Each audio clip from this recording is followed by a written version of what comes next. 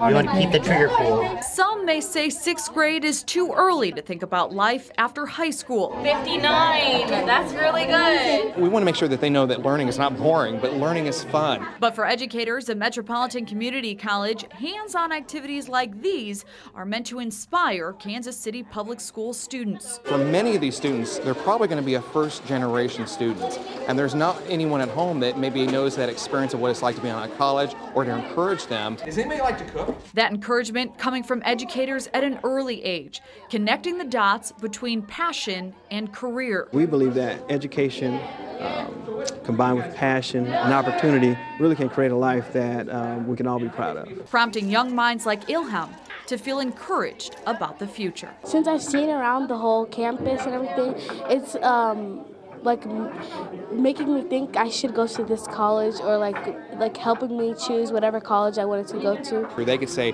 that's where I went as a kid, now I want to be there as an adult. In Kansas City, Keleigh Gibbs, KMBC 9 News.